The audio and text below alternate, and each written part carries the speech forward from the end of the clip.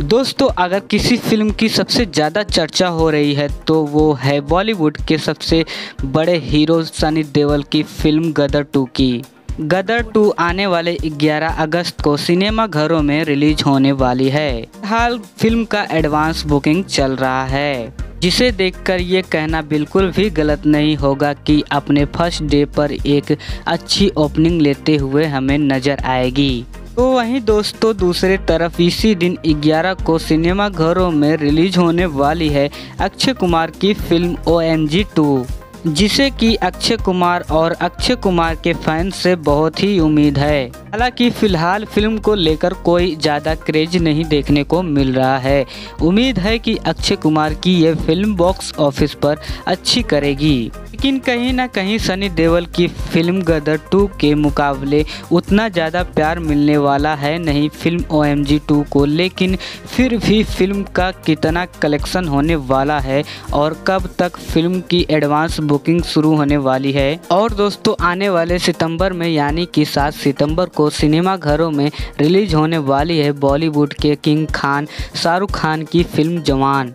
इसको लेकर फैंस बहुत ही ज़्यादा एक्साइटेड हैं। फ़िल्म का ट्रेलर भी रिलीज़ हो चुका है। फ़िल्म के पोस्टर भी रिलीज़ हो चुके हैं और फ़िल्म का एक गाना भी ज़िंदा बंदा रिलीज़ हो चुका है। बहुत ही शानदार रिकॉर्ड तोड़ व्यूज़ मिले हैं। अभी कल ही ये गाना रिलीज़ हुआ था। वो जवान फ़िल्म अपने फ़र्स्ट डे पर कितना कलेक्शन करने वाली है? तीनों फ़िल्मों के बारे में हम आज इस वीडियो में बात करने वाले हैं। बस आप वीडियो में पूरी तरह से बने रहिए। दोस्तों, सबसे पहले अगर बात कर लेते हैं यहाँ पर अक्षय कुमार की film O M G two की तो ये ड्रामा कॉमेडी फ़िल्म है। इसका पहला पार्ट भी रिलीज़ हुआ था, शायद आपने देखा होगा। और उसी फ़िल्म का दूसरा पार्ट है, क्योंकि फ़िल्म को सफलता मिली थी तो फ़िल्म के मेकर्स ने ओ एम जी टू को दोबारा बनाया। हालाँकि फ़िल्म बहुत बढ़िया है, और ये फ़िल्म अमित रॉय के डायरेक्शन में बनी है। और फ़िल्म में आपको देखने को मिलने वाले हैं अक्षय कुमार, पंकज त्रिपाठी, यामिनी गौतम अहम किरदार में नज़र आए हैं। और फ़िल्म की बजट की बात करूँ तो इस फ़िल्म की काफ़ी ज़्यादा बजट है।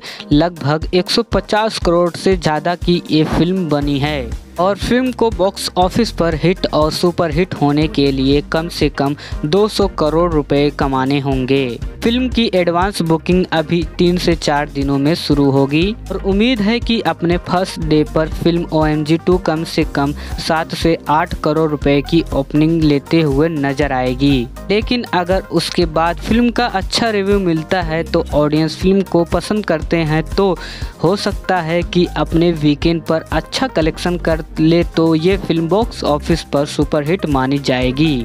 तो अब बात कर लेते हैं शाहरुख खान की फ़िल्म जवान की। इसको लेकर बहुत ज़्यादा ऑडियंस का एक्साइटेड दिखाई दे रही है। और मैं आपको बताता चलूँ कि एटली के डायरेक्शन में बनी है ये फ़िल्म जवान। इसको प्रोड्यूस किए हैं शाहरुख खान की पत्नी गौरी खान ने। फ़िल्म में हमें शाहरुख खान के साथ नयन तारा, विजय सेतुपति अहम किरदार में नज़र आने वाले हैं। फ़िल्म एक्शन थ्रिलर से भरपूर है, लेकिन फ़िल्म को लेकर बहुत ज़्यादा क्रेज बना हुआ है।